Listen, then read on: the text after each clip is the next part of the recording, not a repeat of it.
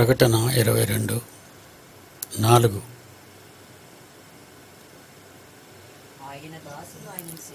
సంఘంలో ఉన్నవారు సంఘం గురించే కదా ఇదంతా? జీవజలములు గల సంఘం. జీవజలములు పారే సంఘం. రాజవీధిలో పారే ఆ జీవజాలాలకు అటు ఇటు జీవ వృక్షం ఉండడం. జీవవృక్ష ఫలాలు ఉండటం ఆకులు ఉండటం.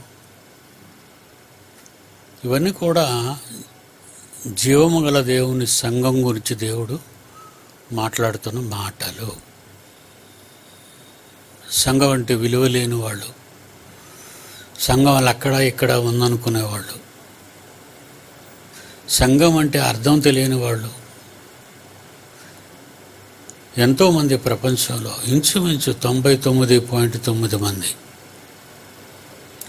క్రైస్తవులు క్రైస్తవులుగా లేరు. అంటే బైబిల్లో ఉన్నవి వాళ్ళకి అర్థం కాదు.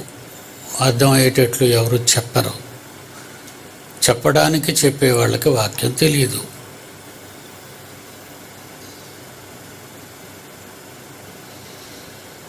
ఎంబీబీఎస్ అవ్వాలంటే చదవాలి మెడికల్ కాలేజీలో.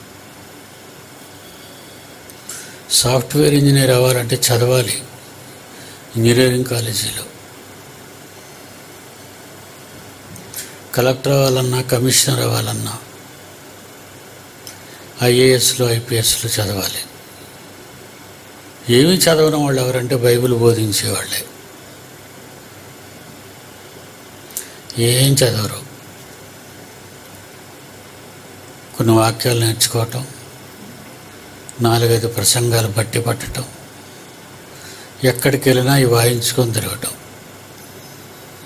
బోధకులు. ఈ రోజుల్లో బోధకులు బైబిల్ చదివి బోధనా విధానాన్ని నేర్చుకొని దివారాత్రము ధ్యానించి బైబిల్ పట్టుకొని ఉన్నవాడే బైబిల్పై పట్టు ఉన్నవాడు పట్టుకున్నవాడు కాదు పట్టు ఉన్నవాడు. కొందరు బైబిల్ని ఎంతో చక్కగా బోధిస్తారు. కొంతమంది బైబిల్ని ఏం చెప్తున్నారో తెలియదు గంటల గంటలు అలవాటు పట్టిన ప్రాణాలు. ప్రసంగానికి సమయం దొరికితే విడిచిపెట్టిన వాళ్ళు అందరూ ఉంటారు. ఇష్టం వచ్చింది చెప్పిన వాళ్ళు మరికొందరు ఉంటారు. వ్రాయబడినది ఏంటి దాని పరమార్థం బైబిల్లో ఇంకెక్కడెక్కడ భద్రపరచబడ్డాయి? అని వెతుకుతూ చెప్పేవాళ్ళు. చాలా చాలా తక్కువ. చాలా తక్కువ. కనుక సంఘం అంటే అర్థం తెలియని సమాజాన్ని చూస్తే సంఘం వాళ్ళు అక్కడ ఉంది వీళ్ళు ఇక్కడ ఉంది మాది సంఘం మీది సంఘం అని మాట్లాడుకునే వారి మాటలను బట్టి బైబిల్ వాళ్ళకి తెలియదు అని అర్థమైపోయింది. వాళ్ళు నేర్చుకునే విధానం ఎవరో ఏదో చెప్పేస్తే వినేశారు. ఇక్కడ కాకపోతే అక్కడికి వెళ్ళిపోతాం అక్కడ కాకపోతే ఇక్కడికి వెళ్ళిపోతాం సంఘాల్లో ఉన్నవాళ్ళు. కొంతమంది వస్తారు. మళ్ళీ ఎలాంటి నీతి సూత్రాలు చెప్తారు? చేర్చుకునేవారు కాదు పోగొట్టుకునేవారు అని ఒకడు నీతి సూత్రాలు వల్లిస్తున్నాడు మన చర్చలోనే. చేర్చుకునేవాడు పోగొట్టుకునేవాడా? నువ్వు నోటుకొచ్చింది వాగితే నిన్ను చేర్చుకోవాలి. నీవు దేవుని సన్నిధికి రాకపోతే నిన్ను చేర్చుకోవాలి.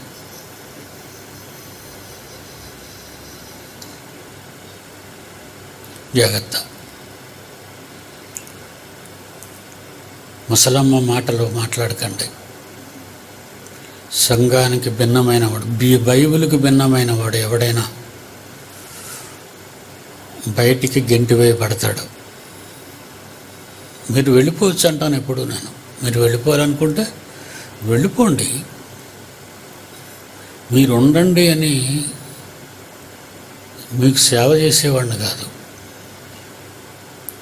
ఉన్న మీకు దేవుని వాక్యాన్ని బోధించి పరిచర్య చేసేవాళ్ళం మేమంతా. నువ్వు బైబిల్కు భిన్నంగా నడుచుకుంటే నిన్ను పోగు చేసేవాళ్ళు ఉండరు ఇక్కడ తరిమేసేవాళ్ళే ఉంటారు. ఎప్పుడైనా ఒకరి నోట బైబిల్కు విరుద్ధమైన ఏ మాట వచ్చినా ఇంకా వ్యక్తులు నమ్మకండి. ఎందుకంటే పగులు ఏర్పడింది. కన్స్ట్రక్షన్లో బిల్డింగులు పగులు వచ్చింది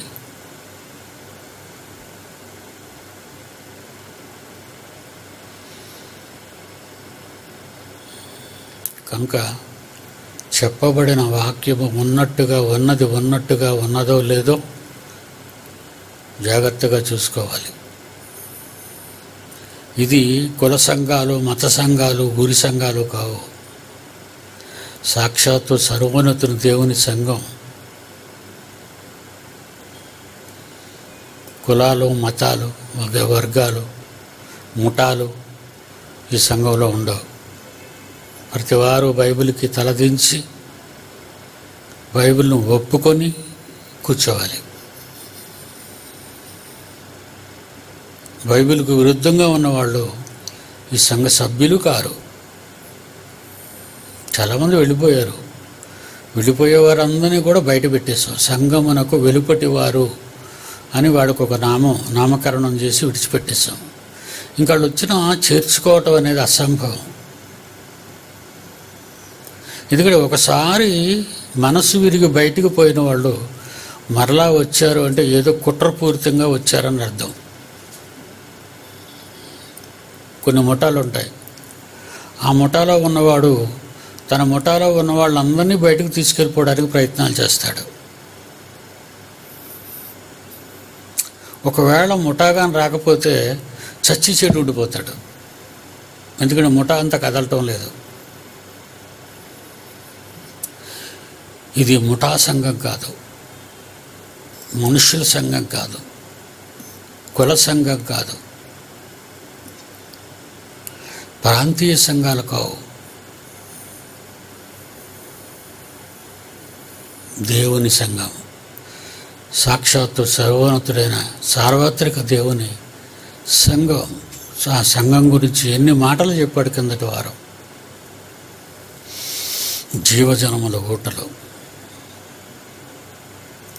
రత్నరాసులు కెంపులు మాణిక్యాలు.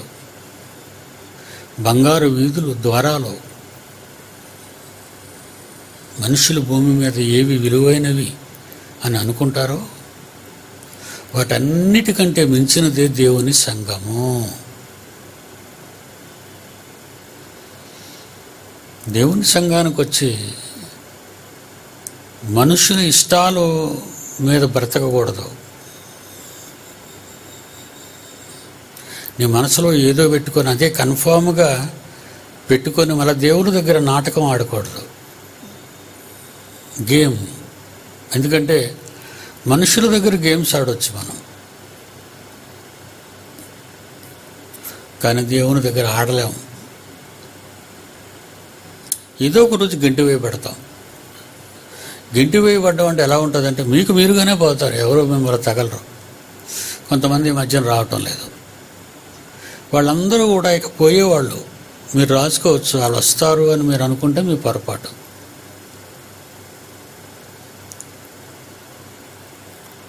మన వాళ్ళలో చాలామంది దేవుని పనులు మానేశారు. దేవుని వాక్యం వినడానికి రావటం మానేశారు. దేవునికి ఇవ్వటం మానేశారు. దేవునికి చేయటం మానేశారు. పనులయ్యి. ఇంక వాళ్ళ గురించి వాళ్ళ భవిష్యత్తు చెప్తాను మీకు. వాళ్ళు పోతారు. మనం వాళ్ళని పంపనవసరం లేదు. మనం వాళ్ళని పంపనవసరం లేదు. వాళ్ళకు వాళ్ళగానే పోతారు. వాళ్ళ క్యారెక్టర్. వాళ్ళ రాక కనబడిపోతుంటుంది మనకి. వీళ్ళు ఉండరు వెళ్ళిపోతారు అని.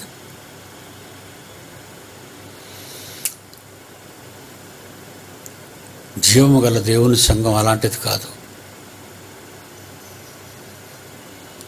పట్టుకున్న దేవుని వాక్యాన్ని ప్రాణం పోయినంత వరకు విడిచిపెట్టనివారు వారు పట్టుకున్న దేవుని సంఘాన్ని ప్రాణం పోయినంత వరకు విడిచిపెట్టని వారు నిజమైన క్రైస్తవులు.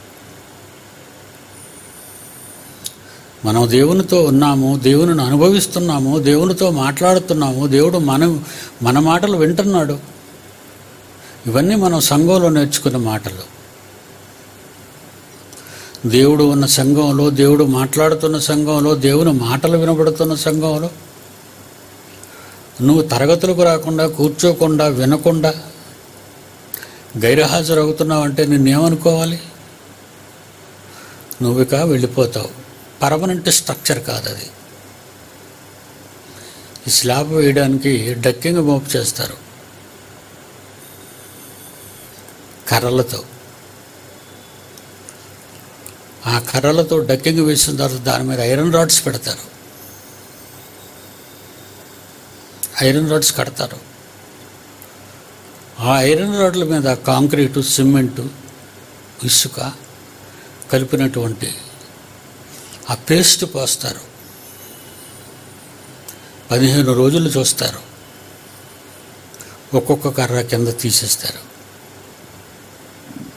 కట్టిన చెక్కలు డక్కింగ్ అంటారు. ఐరన్ షీట్లు కానివ్వండి చెక్కలు కానివ్వండి అవి తీసేస్తారు. అప్పుడు ఈ స్లాబ్ అలాగ ఉండిపోద్ది. మీరు కూర్చున్న పైన ఉన్న స్లాబ్ అలాడదే పెద్ద స్లాబ్. ఎందుకంటే మధ్యన స్తంభాలు లేవు. ఈ చివరి నుంచి ఆ చివరి వరకు మధ్యలో ఎక్కడ స్తంభాలు లేవు. బలమైన కోలమ్స్ మీద ఆధారపడి ఉంది.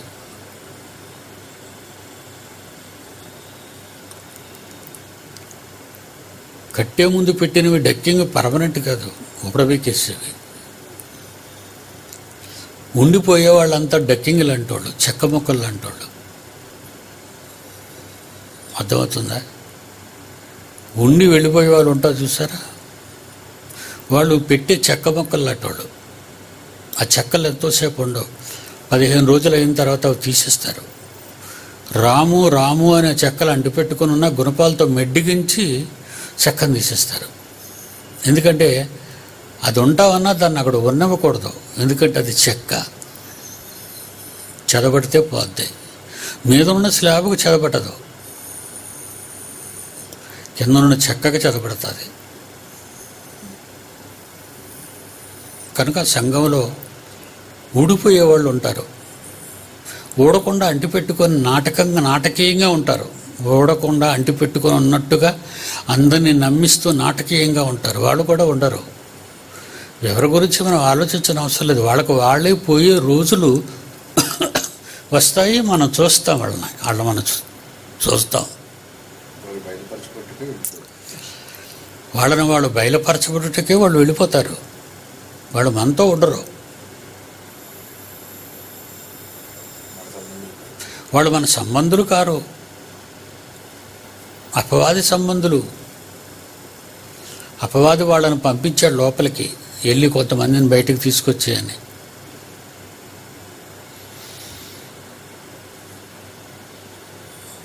వాళ్ళు వాళ్ళ మాటల్లో వాళ్ళ ప్రయత్నాల్లో ఉంటారు. సంఘం మీద కామెంట్స్ చేస్తుంటారు. అలాంటి సంఘం అంటారు ఇలాంటి సంఘం అంటారు అలాంటి వ్యక్తులు అంటారు ఇలాంటి వ్యక్తులు అంటారు. ఇవి సాతాను వలన పుట్టినవి. దేవుని వలన కలిగినవి కావు. దేవుని వలన ఉన్నవారు స్థిరముగా ఉన్నవాళ్ళు. వాళ్ళు కాంక్రీటు స్లాబ్ లాంటి వాళ్ళు వాళ్ళు. వాళ్ళని ఎవరూ ఏమి చేయలేరు. దేవుని పిల్లలారు అలాంటి జీవము గల దేవుని సంఘం ఉంది. ఈ సంఘంలో ఉన్నవారికి నాలుగో వచ్చిన ప్రకటన గ్రంథం ఇరవై రెండో అధ్యాయం. ప్రకటన గ్రంథం ఇరవై రెండో అధ్యాయం నాలుగో వచనం. ఆయన దాసులు ఆయన్ని సేవించుచు ఆయన ముఖదర్శనము చేయుచు చేయుదురు. ఆయన దాసులు ఆయనను సేవించుచు ఆయన ముఖదర్శనము చేయుదురు. ముఖదర్శనం చేస్తున్నామా మనం? ఆయన ముఖం దర్శనం చేస్తున్నావా?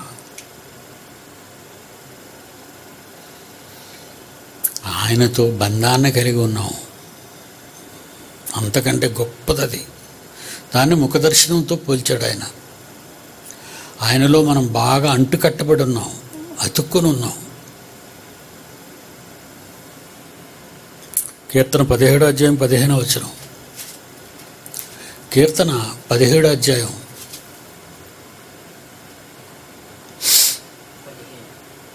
పదే పదిహేనో వచనం నేనైతే నీతి గలవాడని నేనైతే దేవుని నమ్మి విశ్వాసం వల్ల నీతి గలవాడనై నీ ముఖ దర్శనము చేసేదను. నేను కళ్ళు తెరిచగానే నీ స్వరూప దర్శనములతో నా ఆశను తీర్చుకుందును. మరి దేవుణ్ణి చూసేవాళ్ళు ఎవరు? బ్రతకరని బైబిల్లో ఉంది కదా. మరి ఈయన స్వరూపం అంటున్నాడు ముఖం అంటున్నాడు దర్శనం అంటున్నాడు?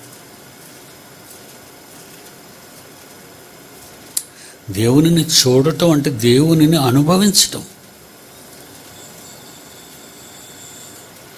దేవునిని చూడటం అంటే దేవునిని అనుభవించటం.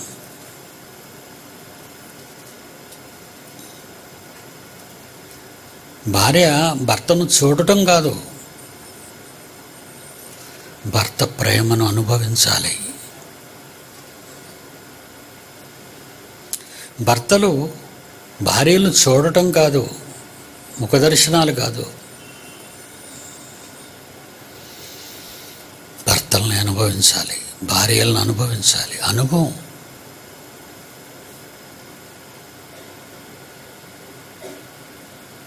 వాళ్ళ ప్రేమ వాళ్ళ సాధుగుణం వాళ్ళ మర్యాద వాళ్ళు ఇవ్వటం మనకు పెట్టటం మన ఎడల గౌరవంతో మాట్లాడడం ఇదంతా అనుభవించటం. ముఖదర్శనం కాదు. అనుభవించటం. దేవునిని అనుభవించటం. ఇప్పుడు వాక్యం వింటున్నారా? దేవునిని అనుభవిస్తున్నారు. దేవుని మాటలు మీ ఆత్మలలోకి వెళ్ళి అవి హృదయాంతరాలలోనికి రా అన్ని మెదడులోనికి వెళ్ళిపోతుంటాయి అవి. దేవునితో నేను ఉన్నానా అందుకేమంటున్నాడు దావీదు?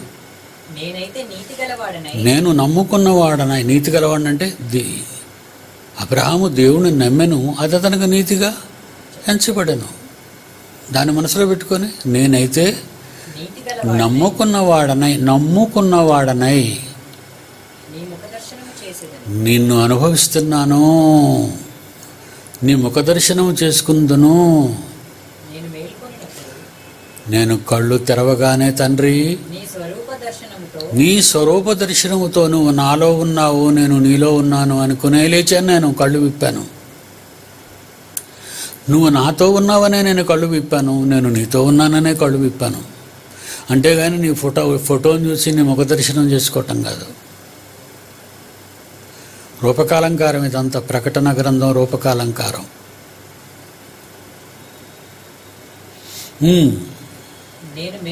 నేను మేలుకొనున్నప్పుడు నీ స్వరూప దర్శనముతో నీ ఆశను తీర్చుకొని నా ఆశను తీర్చుకుంటాను.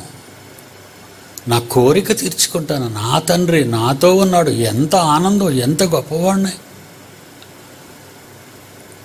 ఒకడేమో రాజకుమారుడు అని చెప్పుకొని గర్వపడతాడు. ఒకడేమో ధనవంతుని కొడుకునని చెప్పారా గర్వపడతాడు. నేనైతే నా దేవుని బిడ్డనని నేను ఆనందిస్తున్నాను. నేను ఎప్పుడు అరగనుకుంటానండి పండుకునేటప్పుడు కానీ లేచినప్పుడు కానీ బ్రతుకుతున్నప్పుడు కానీ మరలా రాత్రి మంచానికి వెళ్ళేంత వరకు నేను ఎవరో తెలుసా? నా తండ్రితో ఉన్నవాడను. నా తండ్రి నాతో ఉన్నాడు.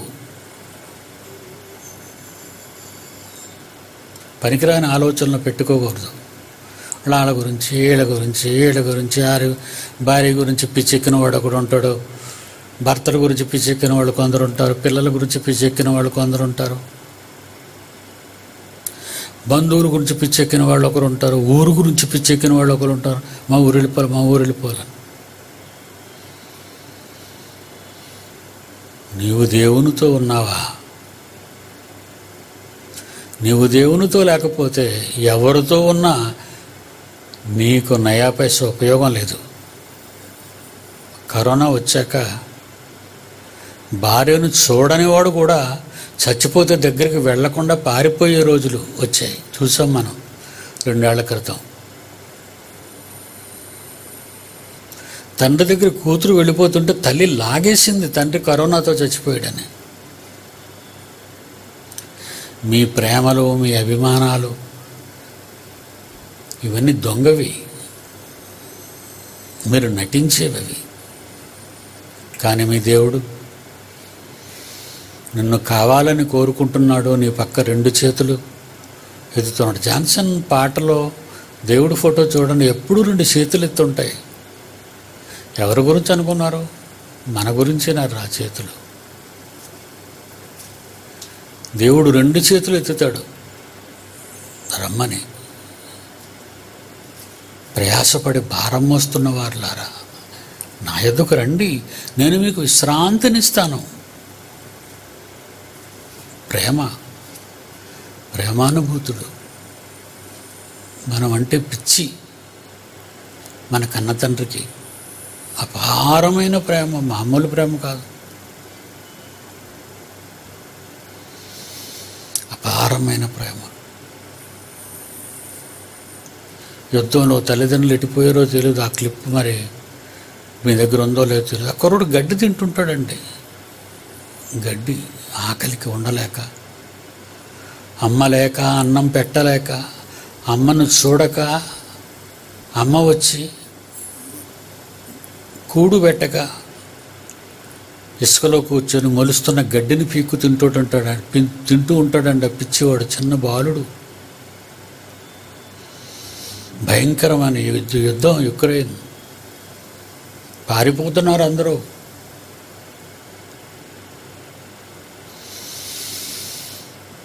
భార్యలు లేరు భర్తలు లేరు పిల్లలు లేరు అంతా అంతా ప్రాణాపాయం ప్రాణభయం మరణ భయం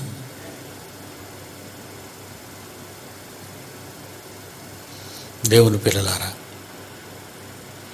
ఈ లోకాన్ని మనం నమ్ముకుంటాం అదంతా మోసం.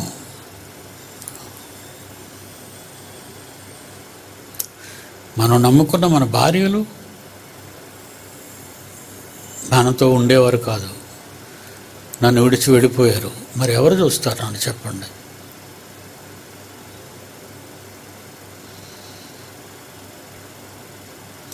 నా భార్యకి నేనంటే ప్రాణం అని చెప్పుకోవటం కాదు. నా భార్య అంటే నేను అబ్బో పిచ్చి అని నువ్వు చెప్పుకోని అవసరం లేదు నువ్వు తిరగని అవసరం లేదు. ఇదంతా ఒక మాయా నాటకం. ఉన్నంతకాలమే నీకు నీ భార్య నీకు నీ భర్త నీకు నీ పిల్లలు నీకు నీ తల్లిదండ్రులు అంతే తప్ప కళ్ళు మూస్తే ఎవరూ నిన్ను పట్టించుకోకుండా వెళ్ళిపోతారు. నా మంచి చెడ్డలు చూసేవాళ్ళు నన్ను విడిచిపెట్టి వెళ్ళిపోయారు. అలా అని ఇప్పుడు నా మంచి చెడ్డలు చూసేవాళ్ళు లేరా? ఉన్నారు? అంతకంటే బాగా చూసేవాళ్ళు వచ్చారు. ఉంటారండి. ఎందుకంటే దేవుడు అందరికంటే మంచిగా చూసేవాడే మన పరలోకపు తండ్రి. ఎవరున్నా ఎవరు లేకపోయినా. కనిపించే వీళ్ళందరినీ చూసి మోసపోకండి. వాళ్ళలో ఉన్నది నిష్కళంకమైన ప్రేమని. అంత జాదు. తేడా వస్తే ఎవరు నా భర్త? తేడా వస్తే ఎవరు నా భార్య? ఎన్నో కుటుంబాలు అలా విడిపోయాయండి. నాకు ఈ భార్య వద్దని పురుషుడు నాకు ఈ భర్త వద్దని స్త్రీ. ఎన్నో గొడవలు లక్షలాది గొడవలు కోట్లాది గొడవలు ఉన్నాయి ప్రపంచంలో. భర్తల్లో వదిలి మరికొందరితో డేటింగ్ చేసేవాళ్ళు. భార్యలను వదిలి మరికొంతమందితో డేటింగ్ చేసే పురుషులు. వీళ్ళకి భార్యలేటి భర్తలేటి బంధాలేటి ఏమీ లేవు. అంతా జాదు.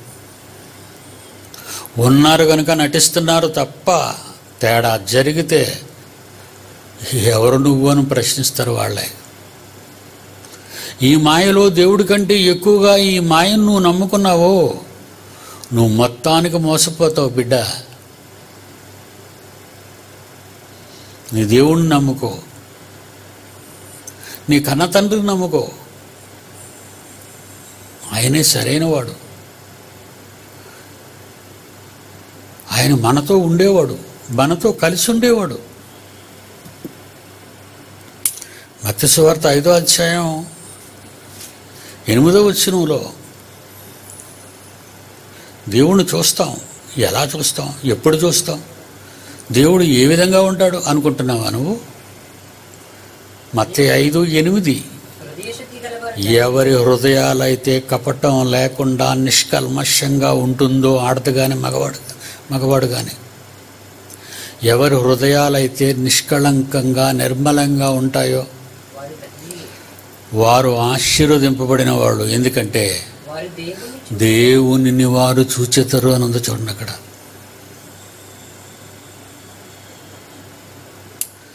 దేవునిని వారు చూచెదరు.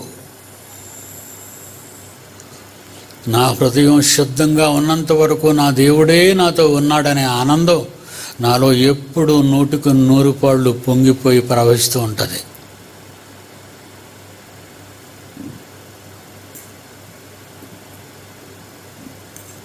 హృదయ శుద్ధి గలవారు ధన్యులు. వారు దేవుణ్ణి చూచెదరు. వారు దేవుణ్ణి చూస్తారు. చూసావా మనం దేవుణ్ణి ఈరోజు మనకున్న ఆరోగ్యం ఈరోజున్న మనకున్న ఆనందం ఈరోజు మనకున్న శాంతి సమాధానాలు ఇవన్నీ. దేవుని వలన వచ్చినవి ఇవన్నీ కూడా. డబ్బును నమ్ముకున్న రోగాలే బంధువులు నమ్ముకున్న రోగాలే కుటుంబాలు నమ్ముకున్న రోగాలు ఇవన్నీ రోగాలు. వీళ్ళు రోగాలు ఎగదోస్తుంటారు మనకి. ఎవరిని నమ్మకండి. మీ వాళ్ళని మీరు నమ్మకండి ఎవరిని నమ్మకండి. మొట్టమొదటి నమ్మేది మీ తండ్రి అయిన దేవుణ్ణి. ధర్మశాస్త్రంలో ప్రధానమైన ఆజ్ఞ ఏదన్నాడు? ధర్మశాస్త్రములో ప్రధానమైన ఆజ్ఞ. నిన్ను వలే నీ పొరుగువాన్ని ప్రేమించుమనే మాట ఇది రెండవది. దానికి మీదున్నది నీ దేవుడేని హోవాను నీ పూర్ణ బలముతోను నీ పూర్ణ శక్తితోను నీ పూర్ణ ఆత్మతోను నీ నీ నీ పూర్ణమైన వివేకముతోను నీ దేవుడైన యెహోవాను ప్రేమింపవలెను. మత్స్యవార్త ఇరవై రెండు అధ్యాయం ముప్పై ఆరు. వచ్చును ముప్పై ఏడో వచ్చును మత్స్యవార్త ఇరవై రెండో అధ్యాయం ముప్పై ఆరు ముప్పై ఏడు ముప్పై ఆరు ముప్పై ఏడు బోధకుడా? ధర్మశాస్త్రములో ముఖ్యమైన ఆజ్ఞ ఏదో? చెప్తావా?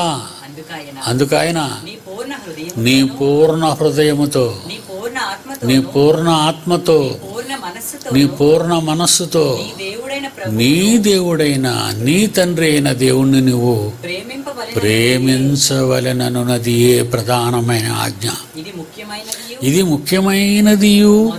నెంబర్ వన్ స్థానంలో ఉన్నది అన్నాడు యేసుక్రీస్తు. అది రెండవది. నువ్వలేని పొరుగువాడిని ప్రేమించమన్నది రెండవది.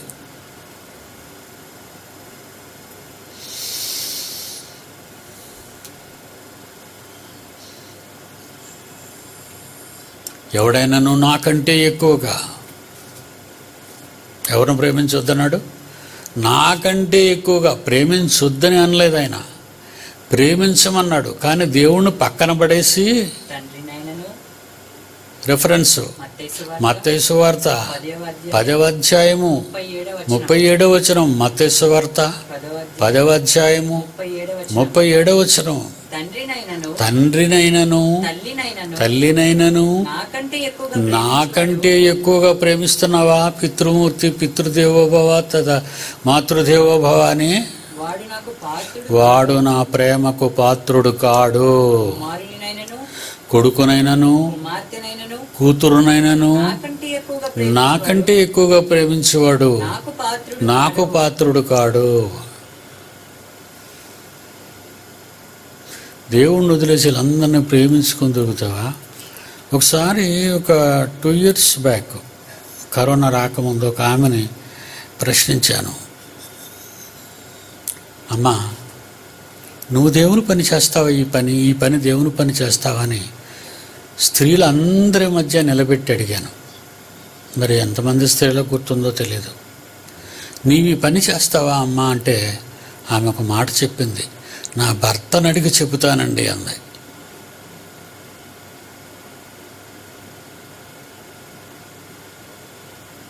నీ భర్తను అడిగి చెబుతావా? ఎవరి పని? దేవుని పని చెయ్యటానికి నీ భర్త అనుమతి కావాలి. అప్పటి నుంచేనండి ఆ కుటుంబం మనకు దూరం అయిపోయింది.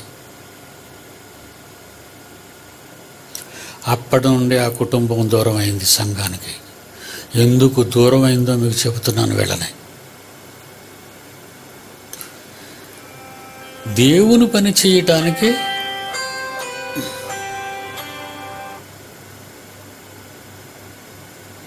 దేవుని పని చేయటానికి భర్తను అడుగుతావా? నీకు పిల్లలు ఉన్నారమ్మా అని అడిగాను. లేరండి అంది. మరి గర్భఫలం ఎవరిస్తారో తెలుసా అన్నాను. మీ ఆయన దేవుడా అని అడిగానమ్మా. బాగా వినండి. గర్భఫలం ముందుగా ఎవరు ప్రసాదించాలి? దేవుడా? మీ ఆయన అన్నాను. మాట్లాడలేదు. ఏం చెప్తుందండి? గర్భఫలము దేవుడిచ్చు బహుమానము. నీ భర్త కాడు రెండో వాడు రెండో స్థానం నీ భర్తదే. మొదటి స్థానంలో ఉన్న దేవుని పని చేయడానికి మీ ఆయన్ని అడిగి చెప్తావా? ఈ మధ్యన చాలామంది భర్తలు వాళ్ళ అనుమతులు తీసుకోవాలని శాసిస్తున్నారు భార్యల్ని. దేవుని పనులు చేయటానికి మీ అనుమతులు తీసుకోవాల్సిన అవసరం మీకు లేదర్రా. నీ భార్య చేస్తున్నది దేవుని పని. నీ పని కాదు ఎవరి పని కాదు.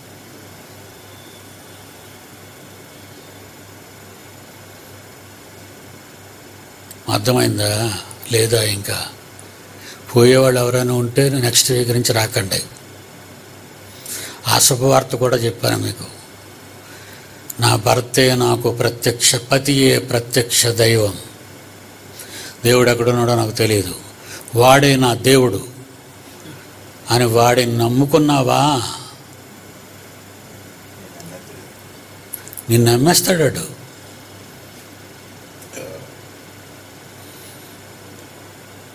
సాంప్రదాయాలు మొదలెడుతున్నాడు ఒక్కొక్కడు నాకు తెలుసండి వీళ్ళందరూ నా దృష్టిలో ఉన్నారు. వీళ్ళందరినీ నేను ఇప్పుడు అబ్జర్వేషన్లో పెట్టాను. ఎందుకంటే వాళ్ళు ఏ రోజు పారిపోతారో అని చూస్తున్నాను. నేనేం పంపేయనండి వాళ్ళని. వాళ్ళకి వాళ్ళే పోతారు. పాపం పండి. నీ భర్త అనుమతి కావాలా? ఏమ్మా? దేవుడు పనిచేయడానికి నీ భర్త అనుమతి కావాలా? మరి ఈరోజు నీకు పిల్లలు లేని పరిస్థితి ఎందుకు వచ్చిందో తెలుసా? నీ దేవుడికి నీ మీద జాలి లేదు. ఫలాలు ఆయన నీకు ఇవ్వడు. గర్భ ఫలాలు ఆయన నీకు ఇవ్వటం లేదు. ఏమండి ఇది మీకు నచ్చిందండి మాట? మీకు నచ్చినా ఒకటే నచ్చకపోయినా ఒకటే. నాకు నచ్చింది నా తండ్రి మాట.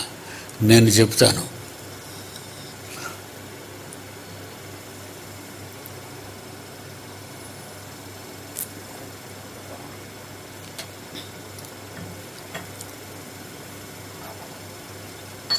దేవుడికి ప్రథమ స్థానం ఇవ్వాలి.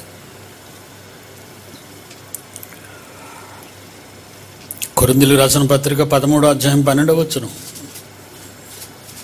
కొరిందీలకు రాసిన పత్రిక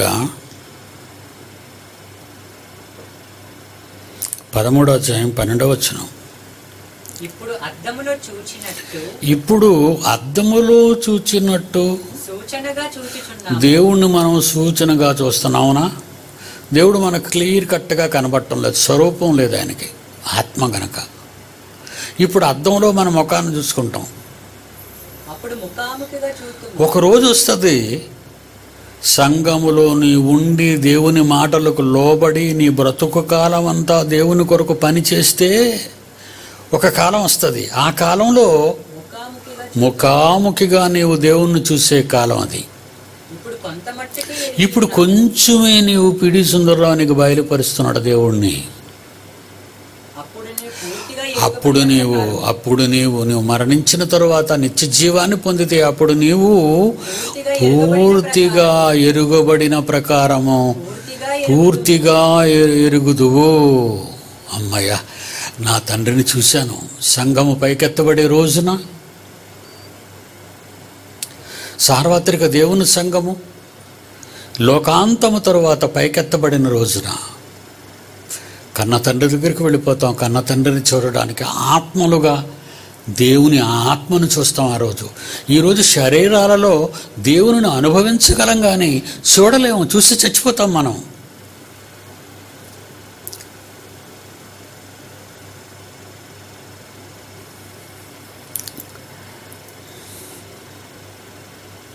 మొదటి వ్యవహారం మూడు రెండు. మొదటి యోహాను మూడు రెండు. ప్రియులారా ఇప్పుడు మనము దేవుని పిల్లలమై ఉన్నాము. ఇప్పుడు మనం ది- సంఘంలో ఉన్నాం కదా దేవుని పిల్లలమని పిలువబడుతున్నాం. దేవుని పిల్లం దేవుని పిల్లలం మనం. ఇప్పుడు దేవుని పిల్లలమని పిలువబడుచున్న మనము ఏమవుదుమో? ఏమవ్వాలో? అది ఇంకా ప్రత్యక్షపరచబడలేదుగా ఎలా మారిపోతామో ఎలా దేవుణ్ణి చూస్తామో దేవుణ్ణి మనం ఎలా హత్తుకోగలుగుతామో ప్రత్యక్షంగా కళతో కాదు. మన ఆత్మదేహంతో మన అక్షయ శరీరంతో ఆయన మనం ఎలా హత్తుకుంటామో. ఇప్పుడు మనము దేవుని పిల్లలమై దేవుని ఉన్నాము. పిల్లలమయ్యే ఉన్నాం మనం ఏమవుదాము? అది ఇంకా ప్రత్యక్షపరచబడలేదు ప్రత్యక్షమైనప్పుడు తండ్రి పరి ప్రత్యక్షమైనప్పుడు ఆయన ఎలా ఉన్నాడో ఆత్మ ఆత్మయైన దేవుణ్ణి ఈ శరీరాలు విడిచిపెట్టిన తర్వాత ఆత్మలుగా మనం చూస్తాం ఆయన్ని. ఆయనను పోలి ఉండాలి మనం. ఆయనను పోలి ఉండాలి.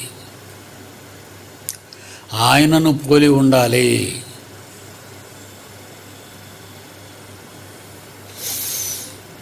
ప్రకటన ఇరవై రెండు నాలుగులో ఆయన దాసులు ఆయనను సేవించుచు ఆయన ముఖదర్శనము చేయుచుందురు.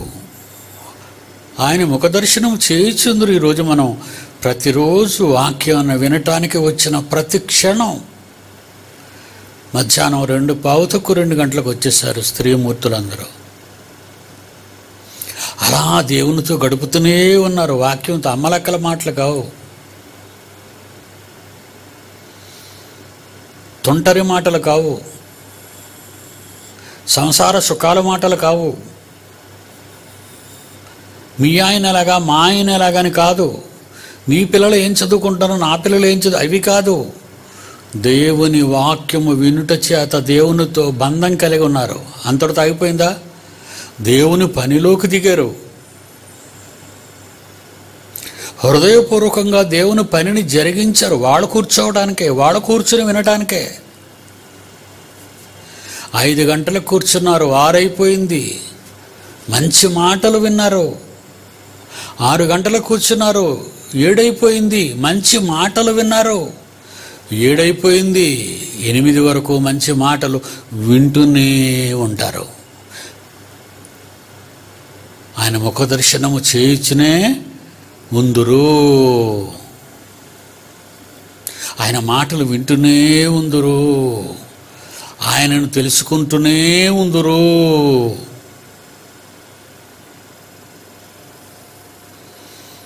ఇంకేమంటున్నాడు?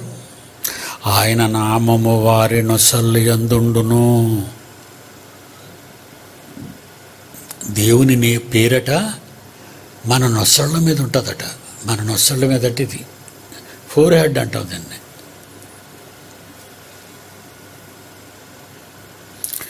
దాన్ని మూడో అధ్యాయం పన్నెండవ వచనం ప్రకటన గ్రంథం. మూడో అధ్యాయం పన్నెండవ వచనం ప్రకటన గ్రంథం. లోకాన్ని జయించు వానిని నా దేవుని ఆలయములో నా దేవుని ఆలయములో ఒక స్తంభముగా ఒక చేసి స్తంభముగా చేసేదను స్తంభముగా చేసేదను. మీరందరూ కూడా సంఘములు స్తంభాలుగా ఉన్నారు. కొంతమంది వచ్చారా అని అడగనండి. వాళ్ళు ఎప్పుడు వస్తూనే ఉంటారు. నాలుగు స్తంభాలు వాళ్ళు. పలానోళ్ళు వచ్చారా అని అడగను. ఎప్పుడెప్పుడు మానేస్తుంటారో వాళ్ళని అడుగుతుంటాను వాళ్ళు వచ్చారా అని. జయించు వాణిని నా దేవుని ఆలయములో ఒక స్తంభముగా చేస్తాను. అందులో నుండి వాడు ఇక మీదట ఇక మీదట ఎన్నటికి వెలుగు ఎన్నటికి బయటకు వెళ్ళడు. స్తంభం అయిపోయిన తర్వాత ఏం బయటకు వెళ్తాడండి? చెక్క అయితే బయటికి ఇసిరేస్తారు పొడిచి. అంతే కదా? డక్కింగ్ వేసిన మొక్కలు అయితే లాగి పాడేస్తారు గుణపాలతో మెట్టికించి కాంక్రీట్ కాంక్రీట్ స్లాబ్ అయిపోయావు నువ్వు. స్తంభము పదునైన గట్టిగా సుత్తులతో కొడుతూ సుత్తు వెనక్కి రావాలి. అలాంటి స్తంభం. ఏమన్నాడు నాయన మరలా మొదటి నుంచి చదువు? దేవుని ప్రపంచంలో లోకాశలని కుటుంబాలని విద్యలను ఈ లోకంలో ఉన్న విద్యలను సమస్తమైన దుర్నీతిని జయించు వారిని నా దేవుని నా ఆలయం దేవుని ఆలయములో ఒక స్తంభముగా నిలబెడతాను నేను. అందులో నుండి వాడు.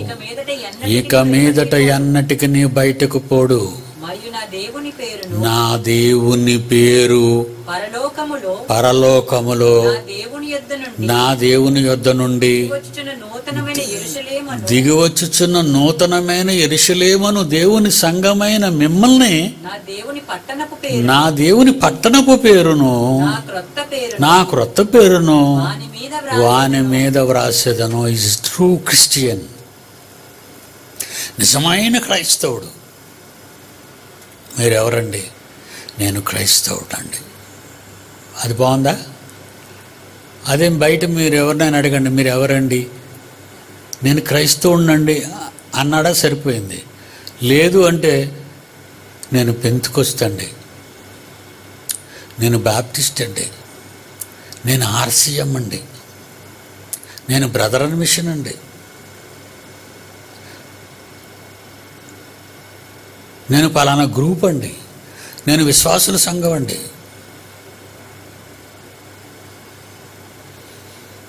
ఎంత బాగా రాశాడండి ఆ మాట. ఎంత తేడాగా కనబడిపోతున్నది ప్రపంచం. చదువునైనా జయించు వాని జయించు వాణ్ణి నా దేవుని ఆలయములో ఒక స్తంభముగా చేస్తాను. అందులో నుండి వాడు. ఇక మీదట ఎన్నటికి నీ బయటకు పోడు.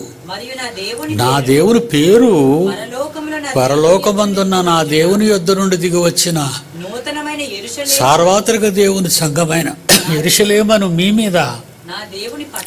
నా దేవుని పట్టణపు పేరు. నా క్రొత్త పేరు. వాని మీద వాని మీద రాసేదను. ఇజ్ ఇట్ ట్రూ క్రిస్టియన్ సత్య సంబంధి అయిన క్రైస్తవుడు. వాట్ నేమ్ అండి మంది.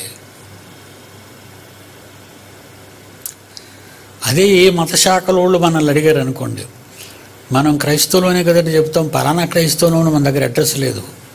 ఏమండి మీరు ఎవరండి అంటే మేము క్రైస్తవులం అండి అదేనండి మీరు ఏ క్రైస్తవులండి ఏ క్రైస్తవులా? ఏ క్రైస్తవులు ఉన్నారండి? లేరా అండి? పెంతుకొస్తవులు ఉన్నారు రామన్ కాత్రిక వాళ్ళు ఉన్నారు బ్రదర్ మిషన్ వాళ్ళు ఉన్నారు. అవి బైబిల్లో లేవు? బైబిల్లో లేనివి నేనెందుకు చెప్తానండి? నేను క్రైస్తవుడినేనండి. నేను క్రైస్తవుడిని దేవుడు పెట్టిన పేరు నాకు అది అది స్తంభముగా సంఘములో ఉన్న నిజమైన సార్వత్రిక దేవుని సంఘములో ఉన్న సభ్యుడు చెప్పవలసిన ఆన్సర్ అది.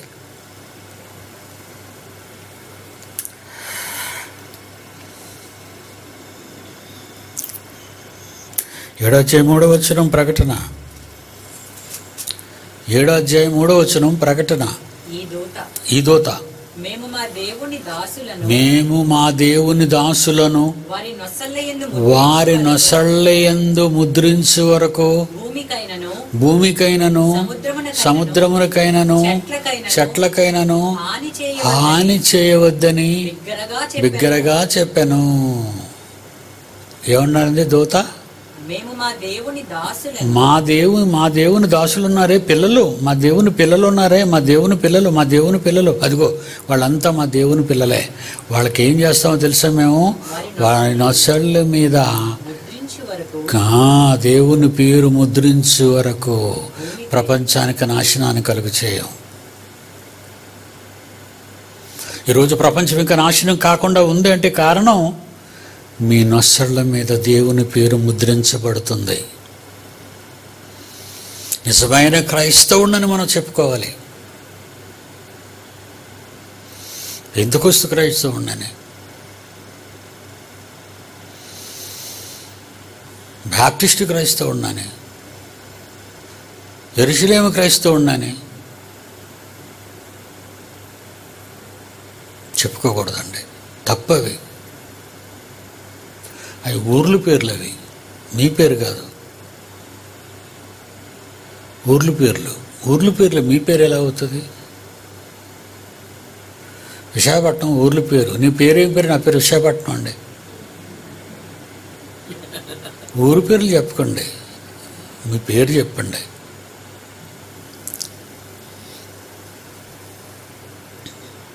చివరిగా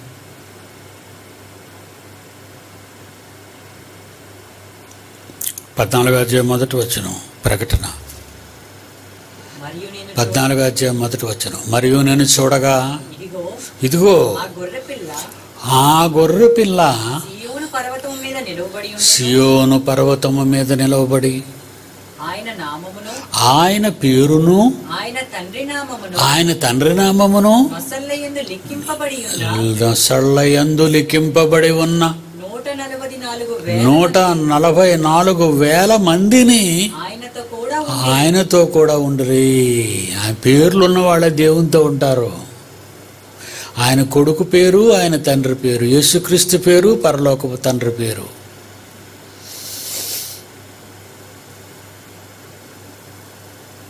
క్రీస్తు అభిషేకింపబడినవాడు క్రైస్తవులు అంటే మరి క్రైస్తవులు క్రీస్తు ఉందా అండి ఉంది. అభిషేకింపబడినవాడు క్రీస్తు అంటే అభిషేకింపబడినవాడు. మరి మనం అభిషేకింపబడిన వాళ్ళమా? అంధకార సంబంధమైన అధికారములో నుండి విడిపింపబడి.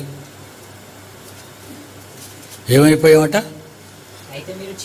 చీకటిలో నుండి పేతురు రాసిన మొదటి పత్రిక మూడవ అధ్యాయము రెండు రెండో అధ్యాయము.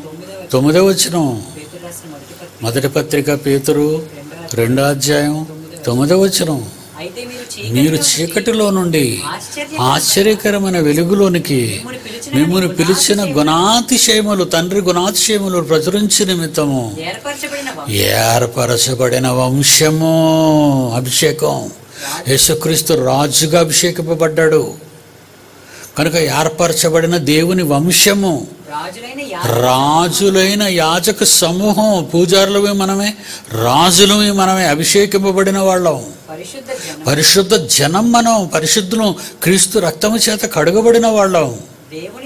దేవుని సొత్తైన ప్రజలమై ఉన్నాము. ఏముందండి? ఇరవై రెండు నాలుగులో చివరి మాట? ఆయన నామము వారి నొసల్లి ఎందుండును. గాడ్ బెస్ట్ రేపు కలుసుకుందాం. అందరికీ సెలవు.